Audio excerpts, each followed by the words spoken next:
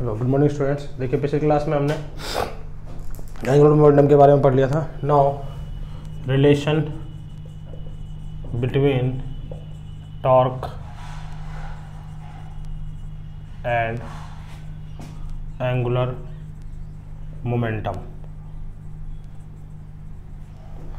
relation between torque and angular momentum ठीक है?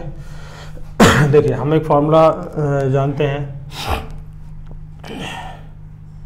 कि एल इक्वल टू क्या होता है? आर क्रॉस पी होता है। ठीक है? ये हमने कल पढ़ लिया था। एंगुलर मोमेंटम इक्वल टू क्या होता है? आर क्रॉस पी ओके, अब इसमें हम क्या कर रहे हैं? इसको डिफ्रेंशिएट कर रहे हैं। Differentiate sheet both side with respect to time T time T के रिस्पेक्ट में हमने इसको डिफ्रेंशिएट कर दिया। देखिए, इसको हम लिख सकते हैं D L by D T equal to D over D T R cross P. दोनों साइड डिफ्रेंशिएशन कर दिया। ठीक है? तो D L by D T equal to, देखिए, इसको फ़र्स्ट फ़ंक्शन मानते हैं, इसको सेकंड फ़ंक्शन मानते हैं। तो first function as it is cross differentiation of second function plus second function as it is cross differentiation of first function.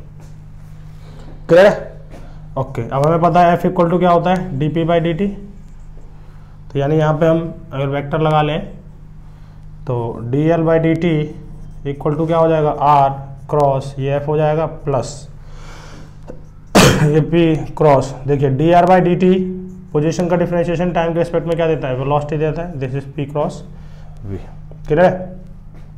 और देखिए पी का एक फॉर्मूला और भी होता है। मास इंटू वेलोसिटी तो देखिए D L by D T equal to R cross F plus P को लिख सकते हैं एम वी क्रॉस वी देखिए, किसी भी वेक्टर का, किसी अपने सेम वेक्टर के साथ डॉट क्रॉस प्रोडक्ट क्या होता है? ज़ीरो जैसे, एक वेलोसिटी वेक्टर है, ये दूसरा वेलोसिटी वेक्टर भी वी यही दे रखा है। तो दोनों सेम है। दोनों का मैग्नीट्यूड सेम है, दोनों का डायरेक्शन सेम है। तो V cross V equal to क्या होगा? Mod B mod B into sine theta N cap और थीटा इन दोनों के बीच का क्या है स्टूडेंट्स ज़ीरो है। तो V V into sine zero N cap तो कितना आ जाता है रिज़ल्ट ज़ीरो इसका मतलब ये पूरा रिज़ल्ट क्या हो जाएगा? ये ज़ीरो हो जाएगा. तो टॉर्क यानी D L by D T equal to क्या आ गया हमारे पास? आर क्रॉस एफ़ और आर क्रॉस एफ़ किसके बराबर होता है? टॉर्क के बराबर. इसका मतलब D L by D T हमारे पास क्या आ गया? टॉर्क क्लियर है? ओके देखिए यहाँ से हमने क्या सीखा? जैसे rate of change of linear momentum gives force, इसी तरह rate of change of angular momentum gives torque ठीक है? Rate of change of angular momentum gives torque तो एंगुलर मोमेंटम का चेंज हमें क्या देता है? वो देता है टॉर्क ठीक है? तो समझ में आ रहा है? ओके तो टॉर्क कितना हो गया? D L by D T समझ में आ रहा है? ओके नोट करिए इसको.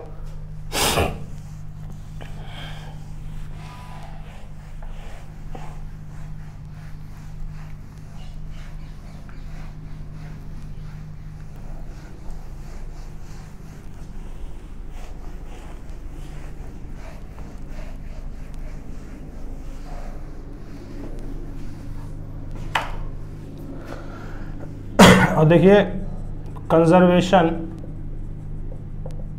ऑफ़ एंगुलर मोमेंटम देखिए, अब क्या हो गया? देखिए। टॉर्क इक्वल टू क्या है हमारे पास? D L by D T अब if net torque net net torque if net torque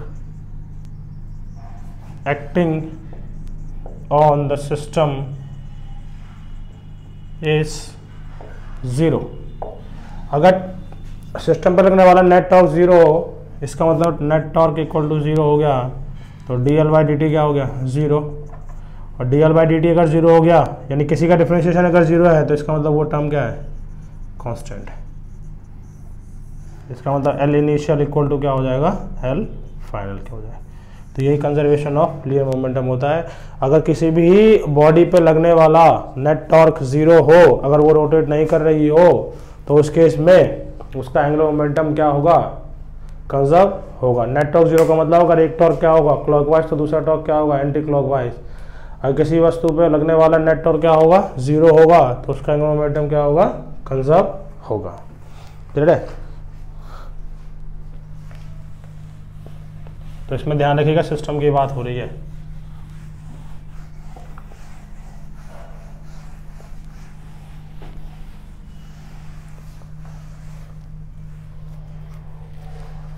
उसके बाद देखिए, इसमें बहुत इंपॉर्टेंट टॉपिक है इक्विलिब्रियम ऑफ़ रिजिड बॉडी देखिए इक्विलिब्रियम ऑफ़ रिजिड बॉडी में क्या होता है?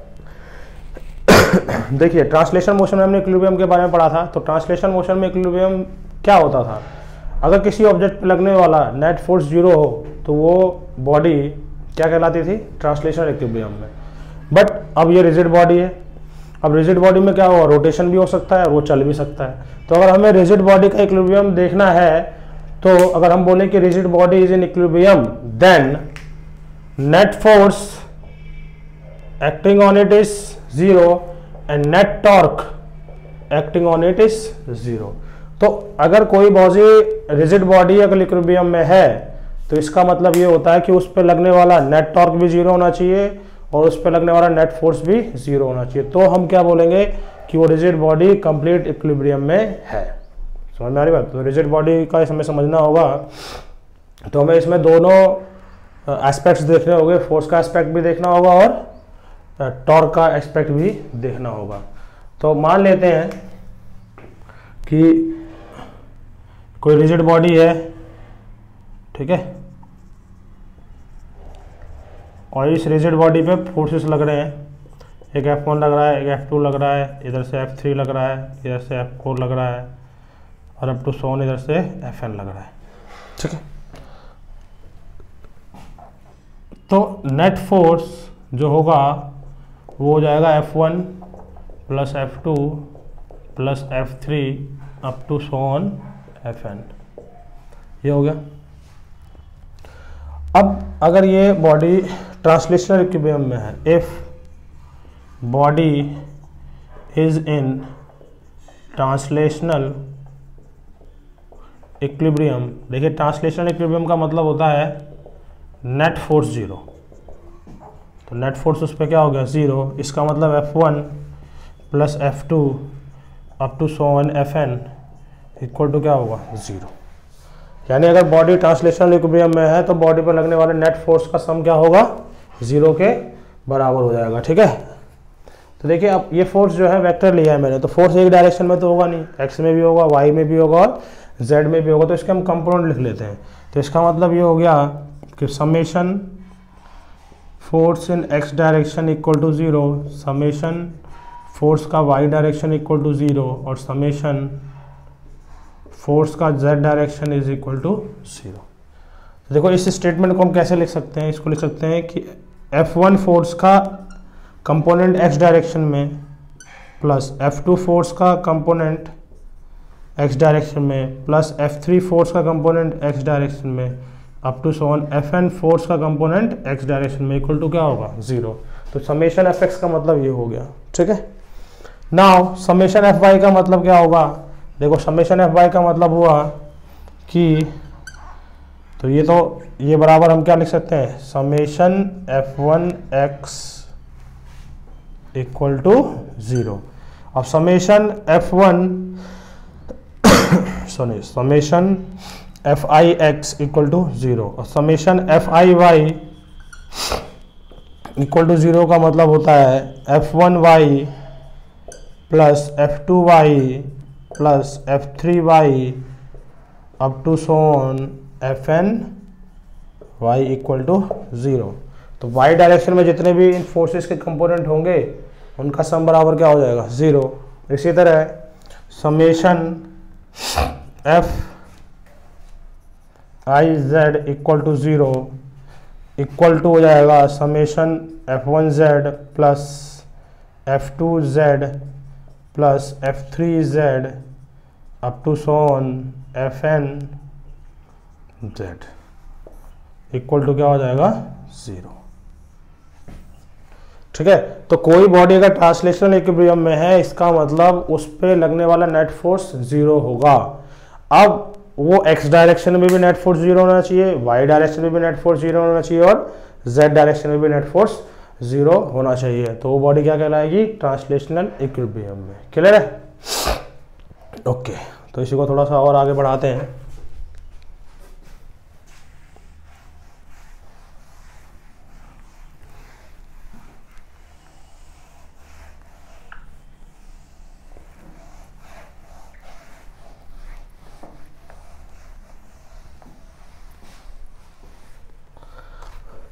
अब देखिए एफ़ नेट को क्या लिख सकते हैं? D P net divide by D T equal to क्या होगा F one plus F two plus F three up to so on F N अगर D P net by D T equal to क्या हो जाए? Zero क्योंकि net force तो zero होने वाला है। इसका मतलब net momentum of the system क्या रहेगा? कांस्टेंट हो जाएगा। क्योंकि किसी का डिफ्रेंशिएशन अगर ज़ीरो है तो उसका नेट मोमेंटम क्या हो जाएगा? कांस्टेंट हो जाएगा। इसका मतलब पी इनिशियल क्या हो जाएगा? पी फाइनल क्या हो जाएगा। समझ में आ रहा है? तो ये कंडीशन रिजिड बॉडी की इक्विलिब्रियम की कौन सी हुई? ये ट्रांसलेशनल कंडीशन थी। क्या थी ये? ट्रांसलेशनल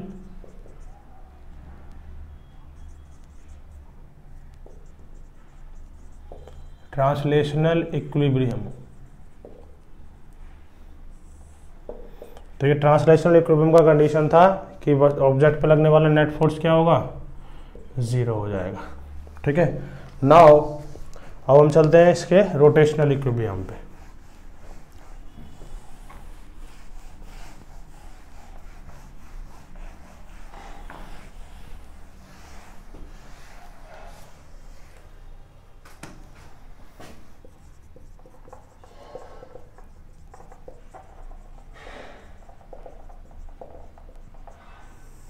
देखिए रोटेशनल इक्विलिब्रियम का मतलब होता है net torque equal to zero ठीक है? इसका मतलब पहला टॉर्क दूसरा टॉर्क तीसरा torque to so on net torque ये नेट टॉर्क आ गया। तो नेट टॉर्क बराबर क्या हो जाएगा? ज़ीरो हो गया। तो T one plus tau two plus tau three up to so on tau N equal to क्या हो गया?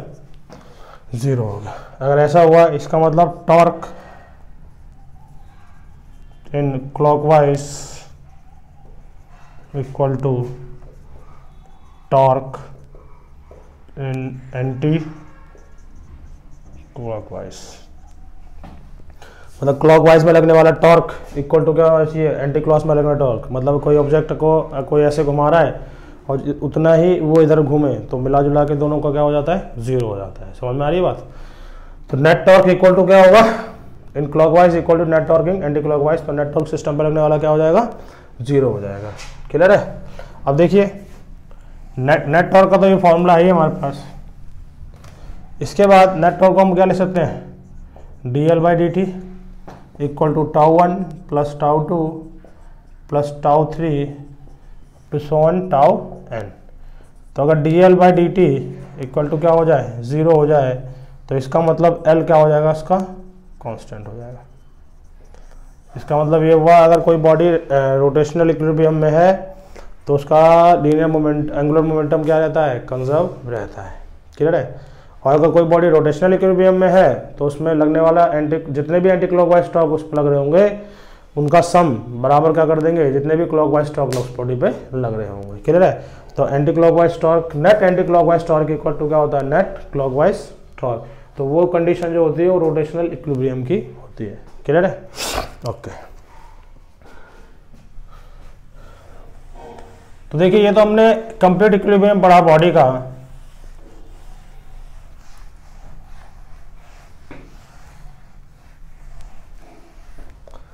ना हम देखते हैं इसका partial equilibrium partial equilibrium of rigid body देखिए, एक बॉडी है, ये एक रॉड मान लेते हैं। ठीक है? ये रॉड है, यहाँ पे हिंज्ड है ये। इस पे एक फोर्स इधर लग रहा है। एक फोर्स इस पे इधर लग रहा है। अगर ये रॉड घूमेगा भी तो इस पॉइंट के अबाउट रोटेट करेगा। अब इस पर एक फोर्स इधर लग रहा है, इस पर एक फोर्स इधर लग रहा है। तो net force acting on the rod is F plus F कितना आ गया? टू एफ़ इसका मतलब this rod is not in translational equilibrium that means this rod not in translational equilibrium. समझ में इसका मतलब ये रॉड ट्रांसलेशनल इक्विलिब्रियम में नहीं है, ठीक है? अब ये जो हिंज था, ये बिल्कुल मिडिल मिडिल पे था। अगर मान लो रॉड का पूरा लेंथ एल था तो एल बाई टू पे ये था और एल बाई टू पे। मतलब हिंज जो है वो बीचों बीच है। अब नेट फोर्स तो सिस्टम पे आ गया। दैट इज़ टू एफ़ इसका मतलब ये बॉडी ट्रांसलेशन इक्विलिब्रियम में नहीं है। अब रोटेशन इक्विलिब्रियम में चेक करना चाहते हैं। अब देखिए, इसके बाद ये रोटेट करेगा, यहाँ पे फोर्स लग रहा है। तो आर वेक्टर बन जाएगा बाहर की तरफ़। तो टॉर्क टॉर्क हम कैसे निकालते हैं? डायरेक्शन आर क्रॉस एफ़ तो आर से एफ़ की तरफ़, है ना? ये देखिए आर से एफ़ की तरफ़। इसी तरह इस फोर्स का टॉर्क निकलता लिखना है तो इनसे क्या बना देंगे? आर वेक्टर बना देंगे। हिंद से आर वेक्टर बनाया। तो क्या आ गया? आर क्रॉस एफ़ तो इसका सेंस ये आया। तो देखिए, ये वाला टॉर्क कैसा है? ये टॉर्क तो है क्लॉकवाइज और ये वाला टॉर्क कैसा लग रहा है इस पे? एंटी क्लॉकवाइज तो टॉर्क इन क्लॉकवाइज कितना आ रहा है? क्लॉकवाइज टॉर्क आ रहा है हमारे पास F into R into sine 90 degree क्योंकि आर, आर, देखो एफ़ इधर है आर इधर है तो 90 डिग्री एंगल है तो ये कितना आ गया आर एफ़ तो टॉर्किंग क्लॉक वाइज ठीक है? Now torque in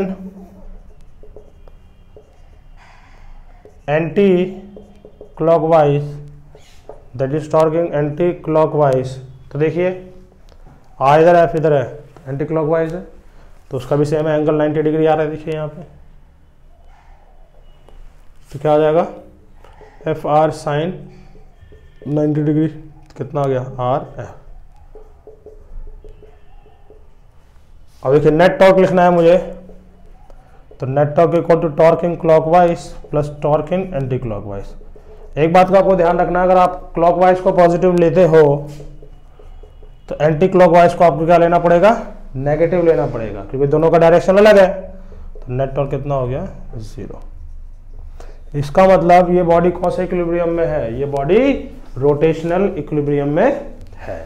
बट ये बॉडी कौन से इक्विलिब्रियम में नहीं है? ट्रांसलेशनल इक्विलिब्रियम में नहीं है तो इसलिए हम इसको बोलते हैं partial equilibrium of rigid body तो partial equilibrium of rigid body का मतलब ये होता है कि बॉडी इन दोनों में से किसी भी एक इक्विलिब्रियम में होगा। या तो ट्रांसलेशनल इक्विलिब्रियम में होगा तो वो रोटेशनल में नहीं होगा। अगर रोटेशनल इक्विलिब्रियम में होगा तो ट्रांसलेशनल इक्विलिब्रियम होगा। तो ऐसा जो रिजिड बॉडी का जो इक्विलिब्रियम कहलाता है, वो क्या कहलाता है हमारा? वो कहलाता है पार्शियल इक्विलिब्रियम क्लियर है? तो पार्शियल इक्विलिब्रियम का मतलब समझ रहे हैं? तो दोनों तरह में से, दोनों इक्विलिब्रियम में से एक इक्विलिब्रियम इसमें पॉसिबल होगा। क्लियर है? ओके नोट करिए इसको।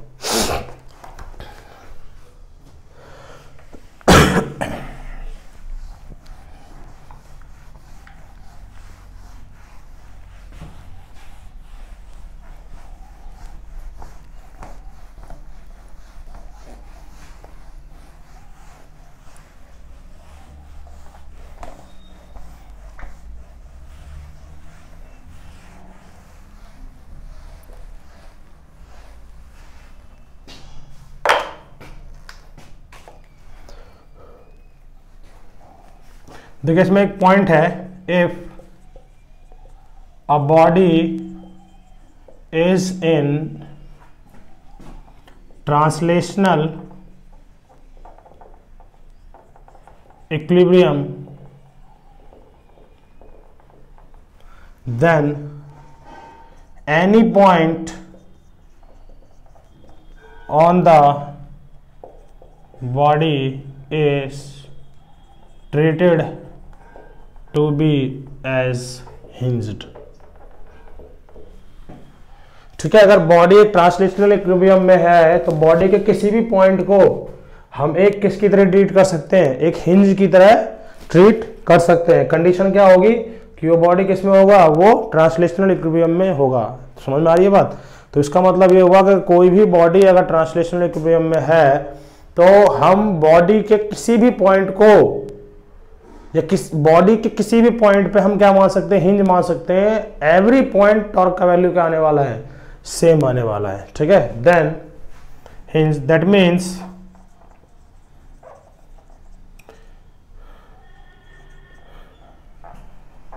at every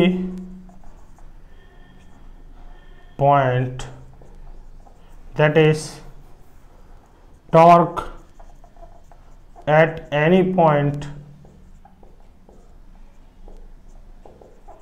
on body remains same मतलब बॉडी का टॉर्क किसी भी पॉइंट के अबाउट क्या आने वाला है सेम आने वाला है। देखिए कैसे। मान लेते एक बॉडी लिया हमने। ये रॉड है। एल लेंथ का रॉड है। रॉड का लेंथ कितना है? एल है। हमने देखिए एक फोर्स ऐसे लगाया।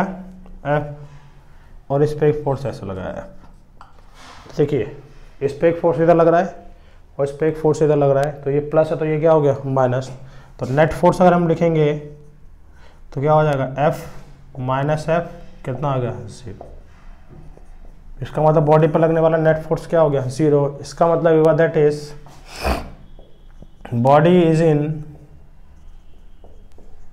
translational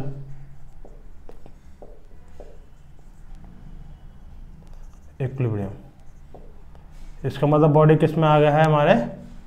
ट्रांसलेशनल इक्विलिब्रियम में आ गया है। तो बॉडी अगर ट्रांसलेशनल इक्विलिब्रियम में आ गया तो किसी भी पॉइंट के अबाउट टॉक निकालो, वो हमेशा क्या आने वाला है? सेम देखिए, पहला पॉइंट ये है। दूसरा ये, तीसरा मैं मिडल में ले लेता हूँ। तो ये ए पॉइंट है, ये बी है और ये क्या है? सी है। देखिए, ये डिस्टेंस कितना है? एल बाई टू और ये डिस्टेंस क्या है? एल बाई टू ठीक है? Okay now torque about point A तो टॉर्क अबाउट पॉइंट ए निकालें तो देखिए ए पॉइंट पे हमने एक अबाउट टॉर्क निकालें। तो देखिए, अगर जिस, किसी पॉइंट के अबाउट अगर हम टॉर्क निकालें, अगर हम फोर्स की आर्म को बढ़ाएँ, अगर वो उसी पॉइंट से होके जाए तो उसका टॉर्क ज़ीरो माना जाता है। समझ में आ रही बात? क्योंकि जैसे मान लीजिए, अब ये हिंज है अब एक रॉड हमने कल पढ़ा था, हमने ना एक फोर्स लगाया, इस फोर्स को पीछे बढ़ाया तो कोई हिंज पॉइंट से जा रहा है तो उसका टॉर्क ज़ीरो मान लेते हैं एक फोर्स इस पर लग रहा होता, इस टाइप से, इसको आगे बढ़ाते तो भी हिंज से पास होता है। तो कोई भी फोर्स अगर फोर्स की आर्म को आगे या पीछे बढ़ाने पर अगर वो हिंज से ही पास हो तो उसका टॉर्क क्या ले लिया जाता है? ज़ीरो ले जाता है। तो देखिए टॉर्क अबाउट ए लिखेंगे तो इस इस इस फोर्स का टॉर्क क्या होगा? ज़ीरो इस फोर्स का टॉर्क देखिए ज़ीरो इसलिए होगा क्योंकि इसी पॉइंट से पास कर रहा है। अब इस फोर्स का टॉर्क देखना है मेरे को। तो देखिए रॉड है, यहाँ पे ये फोर्स है, ये हिंज है। तो इससे डिस्टेंस देख लेंगे हिंज से आर वेक्टर बना देंगे बाहर की तरफ़। ये क्या हो गया 90 डिग्री और ये लेंथ कितना हो गया? एल हो गया ये लेंथ ये टोटल लेंथ कितना है? एल तो टॉर्क कितना आ जाएगा? टॉर्क का डायरेक्शन ये हो जाएगा। लेंथ हो गया हमारे पास। फोर्स हो गया एफ़ लेंथ हो गया एल कौन सी डायरेक्शन आ गई इसमें? क्लॉकवाइज क्लियर है? ओके अब हम सी के अबाउट निकालना चाहते हैं। टॉर्क या बी के अबाउट निकाल लो पहले। अब बी के अबाउट निकाला तो ये वाला फोर्स तो इसी पॉइंट से पास कर रहा है। तो इसका टॉर्क क्या हो गया? ज़ीरो हो गया। तो इसका टॉर्क बचेगा। तो देखिए ये ये, ये इसको हिंज माना है हमने अब। बी वाले केस के लिए। इसको हिंज मान लिया तो ये फोर्स पास हो रहा है तो इसका तो टॉर्क क्या हो गया? इसका ज़ीरो हो गया। बट ये वाला फोर्स इस वाले ऑब्जेक्ट को रोटेट करा देगा इस सेंस में। तो टॉर्क का वैल्यू कितना हो जाएगा? एफ़ इन टू एल और सेंस क्या हो जाएगा इसका? ये भी हो जाएगा क्लॉकवाइज क्लियर है? क्लॉकवाइज हो गया ना? ओके अब इसको देखो। सी के अबाउट अगर मुझे टॉर्क अबाउट सी लिखना है तो देखिए क्या होगा। टॉर्क अबाउट सी में ये रॉड बना लिया हमने। एक फोर्स इधर लग रहा है और एक फोर्स इस पर इधर लग रहा है। ये पॉइंट सी है। ये डिस्टेंस कितना है? एल बाई टू और ये डिस्टेंस कितना है? एल बाई टू तो देखिए सी के बाद यहाँ हिंज मान लिया हमने तो यहाँ से आर वेक्टर बनाया बाहर की तरफ़ हमने इसको ऐसे घुमा दिया। यहाँ से आर वेक्टर बनाया हमने बाहर की तरफ़ इसको ऐसे घुमा दिया। तो देखो, ये भी क्लॉकवाइज ये भी क्लॉकवाइज ये आर वेक्टर हो गया और ये भी आर वेक्टर हो गया। हिंज से जहाँ पे फोर्स लगा था वो डिस्टेंस कितना है? एल बाई टू यही आर की वैल्यू होती है। तो टॉर्क का वैल्यू देखो कितना आ जाएगा? एक हो जाएगा R R that is L by two into F plus देखिए, दोनों का साइज़ सेम है। दोनों ही क्या है? क्लॉक वाइज है। तो एल बाई टू इंटू क्या हो गया? एफ़ तो टॉर्क अबाउट सी कितना आ गया? एफ़ इंटू एल तो देखिए टॉर्क अबाउट आपने ए भी निकाला। टॉर्क अबाउट ए निकाला बी निकाला और सी निकाला। तीनों ही केस में टॉर्क का वैल्यू क्या है? सेम आया है और with direction that is clockwise इसका मतलब ये हुआ, अगर बॉडी ट्रांसलेशन इक्विलिब्रियम में है तो आप उसके किसी भी पॉइंट को हिंज ट्रीट कर सकते हैं। कोई भी फ़र्क नहीं पड़ेगा। क्लियर है? ओके नोट करिए इसको।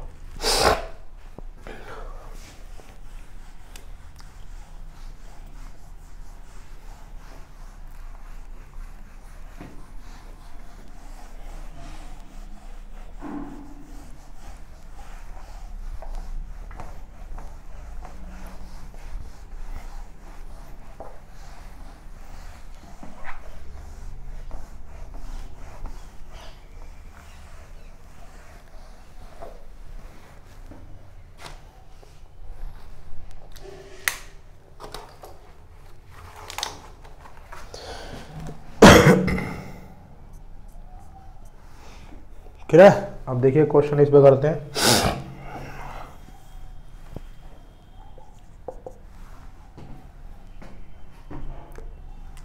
देखिए, मान लेते हैं, एक कोई रिजिड बॉडी है, ये एक्स एक्सिस है, ये वाई एक्सिस है और ये जेड एक्सिस है। इस बॉडी पे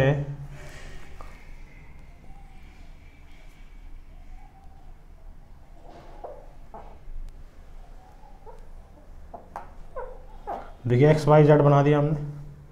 और इस तरह की रिजिड बॉडी है कोई। ठीक है, ये ओरिजिन ओ है। इस पर मान लेते हैं, हमने एक फोर्स लगा दिया ऐसे। टेन न्यूटन का। ठीक है? इस एफ़ वन मान लिया इसको। एक फोर्स लगा दिया हमने F two that is twenty newton का। ठीक है? इससे जो ये एंगल बना रहा है, ये फोर्स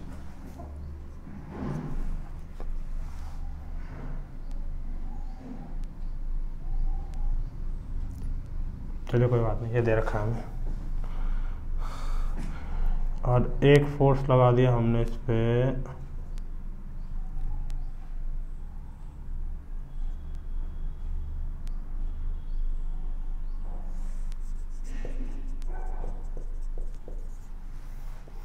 ठीक है, हमें टॉर्क निकालना है।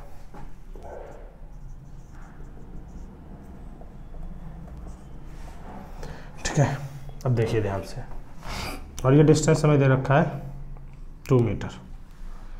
ठीक है?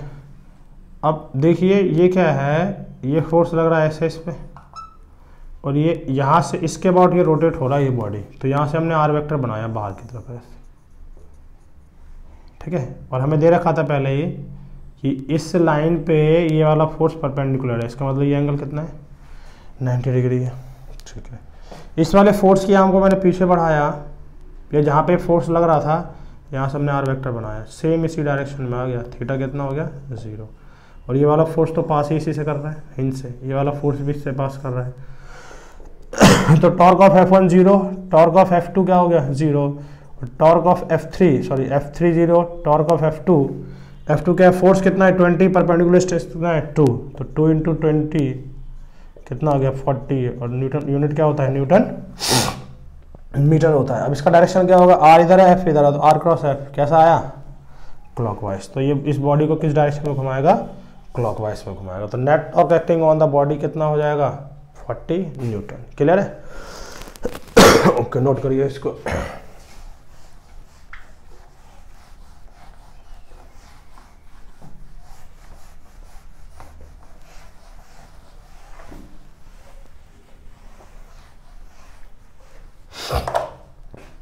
अब देखिए। ये एक्स एक्सिस है, ये वाई एक्सिस है और ये जेड एक्सिस है। तीन एक्सिस बना दिए क्वेश्चन है ये भी। मान लीजिए कोई बॉडी है, उस पर कोई फोर्स लग रहा है। एफ़ टेन न्यूटन का at an angle of thirty seven degree ठीक है? एक फोर्स इस पर ऐसे लग रहा है ट्वेंटी न्यूटन का। ठीक है? और एक फोर्स इस बॉडी पे लग रहा है ऐसे। ये एंगल दे रखा हमें 120 न्यूटन दैट इज़ 30 न्यूटन ये कोई रिजिड बॉडी होगा उस पर ये तीन फोर्स लग रहे हैं। और ये ओरिजन है। हमें बताना find net torque acting about origin origin के अबाउट हमें नेट एक्टिंग बताना है। तो देखिए सबसे पहले, अब इस यहाँ पे फोर्स लग रहा है बॉडी ये है। ओरिजिन से सबसे पहले हम क्या बनाएँगे? आर वेक्टर वो बना दिया ऐसे ये एफ़ है। तो आर और एफ़ के बीच में एंगल कितना है? 37 डिग्री और ये डिस्टेंस दे रखा है हमें टू मीटर जहाँ पे ये फोर्स लगा था, यहाँ से ये डिस्टेंस दे रखा है हमें थ्री मीटर ठीक है? अब देखिए ध्यान से। टॉर्क ऑफ़ एफ़ वन वो हो जाएगा आर एफ़ साइन आर और एफ़ के बीच में एंगल कितना है? थर्टी सेवन या इसको थर्टी डिग्री ले लो, कितना आ जाएगा? थर्टी डिग्री तो टॉर्क ऑफ़ एफ़ वन कितना आ गया? आर का वैल्यू कितना है? टू एफ़ का वैल्यू कितना है? टेन और साइन थर्टी कितना होता है? टू तो टॉर्क ऑफ़ एफ़ वन कितना आ गया? टेन न्यूटन और आर क्रॉस एफ़ कौन से सेंस में आया? एंटी क्लॉकवाइज सेंस में। ठीक है? टॉर्क ऑफ़ एफ़ टू लिख लेते हैं। तो देखिए torque of F two F two देखिए, उसी हिंट से पास करा, जिसके बाद ये बॉडी रोटेट होगा। तो इसका मतलब इसका टॉर्क क्या हो गया? ज़ीरो रीजन लिख लोगे? Force arm passes through hinge किसके थ्रू पास कर रहा है? हिंज के थ्रू पास करना टॉर्क ऑफ़ एफ़ थ्री अब देखिए, ये आर वेक्टर है। इस यहाँ पे फोर्स लगाए तो यहाँ से हमने आर वेक्टर बनाया और ये एफ़ है। और एफ़ के बीच में एंगल कितना है? ट्वेंटी तो क्या हो जाएगा? R F sine one twenty क्या होगी वैल्यू आर की वैल्यू कितनी है? टू सॉरी थ्री इस वाले फोर्स के लिए कितना हो जाएगा? थ्री हो गया। एफ़ कितना है? Thirty sine sine one twenty कितना होता है? That is root three by two तो कितना हो जाएगा ये? Two fifteen forty five root three ये कौन से साइज़ में घुमाएगा? दैट इज़ क्लॉकवाइज ये क्लॉकवाइज साइज़ में घुमाएगा। ठीक है? तो नेट टॉर्क जो होगा that is torque of F one plus torque of F two plus torque of F three अब देखिए, अब तुम्हें ध्यान से समझना होगा कि इसमें जिसकी वैल्यू बड़ी होगी ना, उस डायरेक्शन को पॉजिटिव मान लो। तो क्लॉकवाइज की वैल्यू 45 रूट थ्री है और एंटी क्लॉकवाइज की वैल्यू 10 है। तो ये वाली वैल्यू बड़ी है। तो इसको हमने क्या कर लिया? 45 रूट थ्री को पॉजिटिव मान लिया। तो इसको हम पुट कर देंगे। माइनस टेन, एफ़ टू कितना है? Zero, plus forty five root three. तो आंसर आ गया हमारा forty five root three minus ten newton meter. समझ में आ गया? तो टॉर्क में पॉजिटिव और नेगेटिव डिसाइड करना आपके हाथ में है। अगर क्लॉकवाइज की वैल्यू ज़्यादा आ रही है तो आप क्लॉकवाइज को पॉजिटिव मान सकते हो। उस केस में एंटी क्लॉकवाइज क्या होगा? नेगेटिव। अगर एंटी क्लॉकवाइज टॉर्क की वैल्यू ज़्यादा आ रही है तो उसको आप पॉजिटिव मान लीजिए और क्लॉकवाइज वाले को क्या मान लीजिए? नेगेटिव मान लीजिए। क्लियर है? तो आई होप आपको क्लियर हुआ होगा।